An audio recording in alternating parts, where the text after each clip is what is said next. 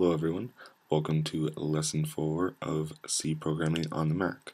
In this tutorial I am going to show you how to create a function and the three parts to a function being the function prototype, uh, calling a function, and defining a function.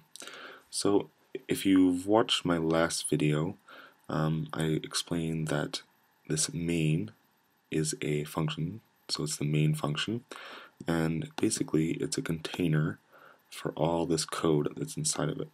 So it's basically just a big storage container for a lot of code. So in when we have when we make we can also make uh, different functions within this. We don't have to just have this one main function and then a lot of code. We can make multiple functions uh, inside our program.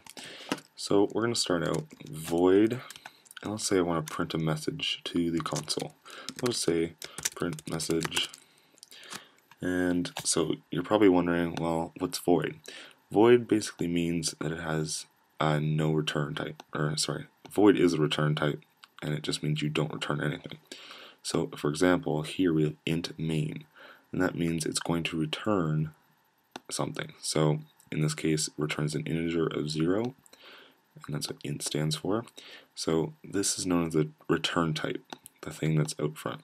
So void print message, and then I'm going to make parameters, and it's going to say void inside of it. And basically that means that it's not going to take in any information either. So all you when you call it, it's just going to do whatever is inside of this method.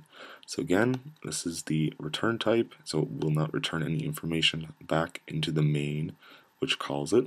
So it will just run, do whatever it says to do, and that will be it. So this will make a lot more sense when we're done. Just bear with. So now if I go to call this function and just say print message like that, and semicolon at the end, and that is all you have to do to actually call the function with inside the main uh, function here. So if I run this, I'm going to get an error message saying basically that uh, the print message hasn't been defined. And that's right here, print message reference, basically saying it doesn't know what to do because I haven't told it what to do. So now, for the last part of making a function, you have to define it. So you just repeat exactly what you did up here. So void print message. Oops. Uh, I'm surprised it's not showing up, but print message. Oops. Void. And then now, like this function here, at the end, you can see we have a left bracket. So I go like that. I get my left bracket and my right one and now I can define what's inside this method.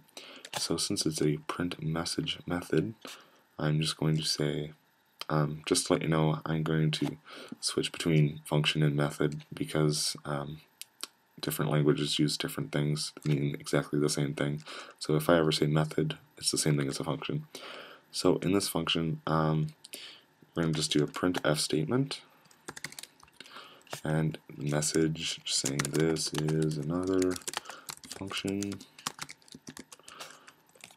And so now, when we go to run this, what it's going to go through, it's going to print this hello world. And then right right after it prints that, it's going to go to the print message and say, oh, where's print message? So it's going to go all the way down here and execute the code in print message. So here's your example hello world, this is another function. So as you can see, that's how that works. Now you might be kind of wondering, well, why do we need to make a function? Why can't I just put this printf statement in here and instead of making all this extra random code? Well, um, the reasons, this is a fairly, um, it's not the best example. Um, usually if you make a function, it has a little more purpose than just printing a message. Usually it'll do a lot of different things. For example, if you um, want to do something uh, more like extremely complicated, then you can just define it all once, and then you just call it anywhere else, you can call it as many times as you want. So, for example, if I want to print this message uh, three times, oops, crap, wrong button. if I just hit print message, then I can print this three times. So save, and it, as you can see, it prints or it runs this method three times. So that's basically functions. Um, there's not too much uh, to know for right now. It will get a little more complicated as we start learning about return types. But as a general rule, um, it just starts with a function prototype. You define what your function is going to look like. Then you call the function in your method. And then you also have to define what the method or function does. So this has been Functions. I hope you enjoyed this tutorial. Uh, if you like these tutorials, please subscribe to the channel and check out more lessons or the old lessons that you missed. Alright, see ya.